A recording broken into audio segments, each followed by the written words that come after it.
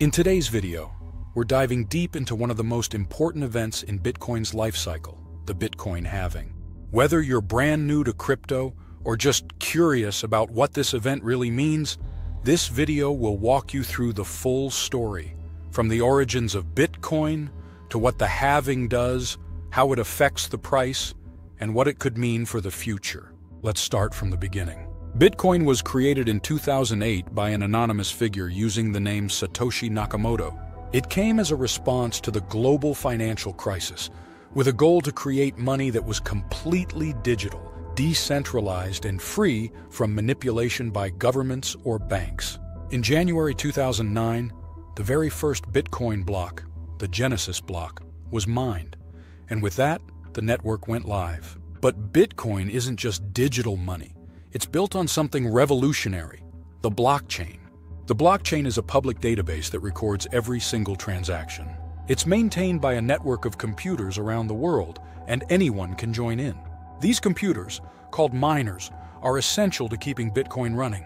They compete to solve complex mathematical puzzles, and whoever solves it first gets to add the next block to the chain. As a reward for their work, they receive newly created Bitcoin, this is called the block reward, and it's how new Bitcoin enters the system.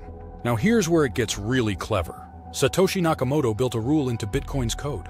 There will never be more than 21 million Bitcoin. Ever. That's it. Finite, scarce. And to control how fast new Bitcoin is created, there's another rule. The halving. Roughly every four years, or more precisely every 210,000 blocks, the amount of Bitcoin given to miners is cut in half. Yes, overnight, miners suddenly earn 50% less per block. Let's take a quick look at how the block reward has changed over time.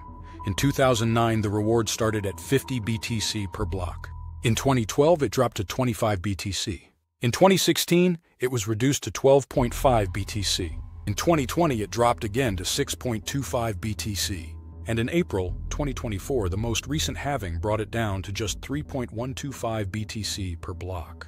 This process will continue roughly every four years until eventually, around the year 2140, all 21 million Bitcoin will have been mined and no new Bitcoin will ever be created again. So, uh, why does this matter? Let's talk about supply and demand. If the supply of something is reduced but demand stays the same, or even increases, the price tends to go up.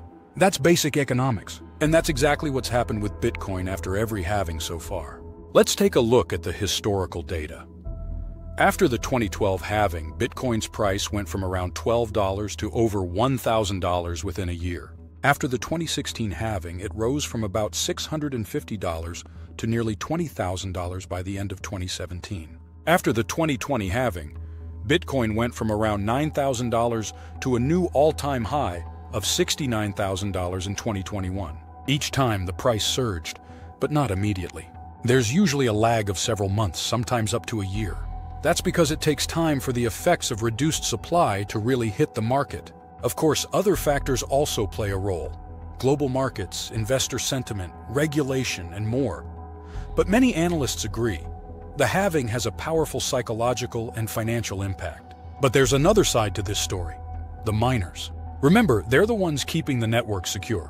When their rewards are cut in half, their income drops drastically unless the price of Bitcoin rises fast enough to compensate. This creates a survival of the fittest environment. Only miners with cheap electricity, efficient machines, and large-scale operations can continue profitably. Smaller players often get squeezed out, leading to a more concentrated mining ecosystem. That's both a strength and a weakness.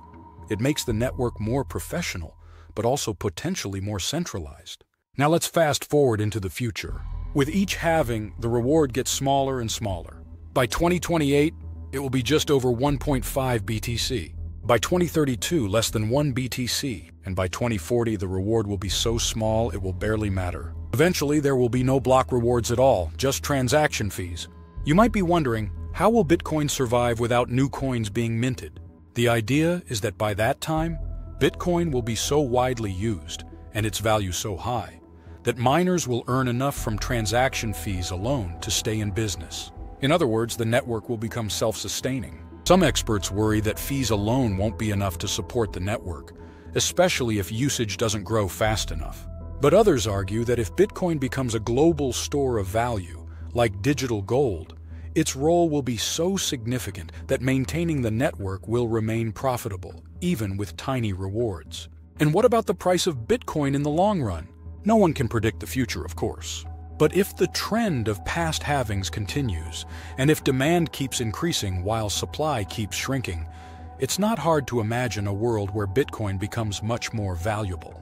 Some believe Bitcoin could reach hundreds of thousands, even millions of dollars per coin over the next few decades. Others are more cautious. Either way, the halving is a reminder that Bitcoin's supply is shrinking permanently. So what should you do with all this information? First, don't panic and don't FOMO. Halvings are important, but they are just one factor in a much bigger picture. If you're an investor, use this time to learn. Look at market cycles, study past trends, and most importantly, never invest more than you can afford to lose. Bitcoin is still a relatively young technology, and the halving is part of its unique economic design, one that rewards early adopters, limits inflation, and promotes scarcity. To wrap it up, the Bitcoin halving is a built-in automatic event that cuts the creation of new coins in half. It happens every four years, and it plays a major role in Bitcoin's economic model. Historically, it's been followed by big price increases, but also increased competition and pressure on miners. Whether you're a beginner or already deep in crypto, understanding the halving gives you a serious edge when it comes to navigating this space. If you found this video helpful, give it a like, subscribe to The Secret Wallet and drop a comment. What do you think will happen after the next halving? Thanks for watching, and stay curious, stay informed, and stay secure.